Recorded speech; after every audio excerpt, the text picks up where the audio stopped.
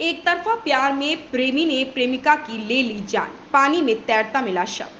धुरकी सगमा से अमित कुमार की रिपोर्ट। दुर्की थाना क्षेत्र के बिरवल गाँव निवासी हाकिम अंसारी की 15 वर्षीय पुत्री रेशमा खातून की शव सोमवार को बिरवल गाँव के बगौड़ा, टोला के वीरेंद्र जायसवाल के तालाब में शिव मिलने पर पूरे क्षेत्र में सनसनी फैल गई। इस घटना को जानकारी मिलते ही एसडीपीओ प्रमोद कुमार केशरी नगर थाना प्रभारी योगेंद्र कुमार, नगर महिला थाना प्रभारी लुशी रानी, धुरकी थाना एसआई कृष्णा, रजवार एसआई राज बल्लभ कुमार ने मौके पर पहुंचकर ग्रामीण के सहयोग से तालाब के, तालाब से शव को अपने कब्जे में लेकर पोस्टमार्टम के लिए गढ़वा भेज दिया। मृतक की माता फतीमन बीबी ने कहा कि चार माह पूर्व में भी लड़का के द्वारा जबरन शादी लड़की से शादी करने के लिए बोल रहा था।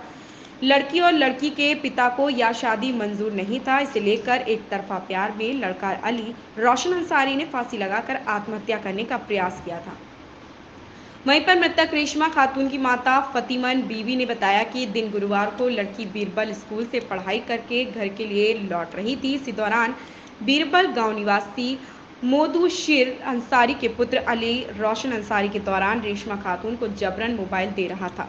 लेकिन लड़की ने मोबाइल लेने से सीधा इनकार कर दिया और लड़की के द्वारा बोला गया कि मैं घर जाकर अपनी माता पिता को बता दूँगी। लेकिन इस बीच में लड़का और लड़की के द्वारा दोनों में नोकझोंक हुई और लड़की ने सारा वेड़तांग घर जाकर अपने परिजनों से बताया। उसी दिन लड़का और लड़ लड़की का पिता लड़की के घर जाकर दोनों परिजनों के बीच समझाया बुझाया गया, लेकिन लड़का का एक तरफा प्यार में पागल था।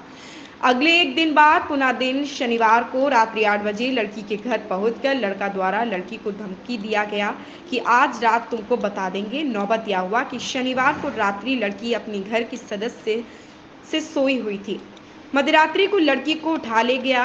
इधर लड़की के परिजनों का रो रो कर बुरा हाल है। संबंध में एसडीपीओ प्रमोद कुमार केशरी से पूछे जाने पर उन्होंने बताया कि घटना निंदनीय है। बीरबल गाँव में बौगड़ा टोला में स्थित वीरेंद्र जायसवाल के तालाब में एक पंद्रह वर्षीय लड़की का शव बरामद हुआ है। शव को अपने कब्जे में लेकर पोस्टमार्टम के लिए भेज दिया गया है। मृतिका की परिजनों के द्वारा गाँव के ही कुछ लोगों पर आरोप लगाया गया।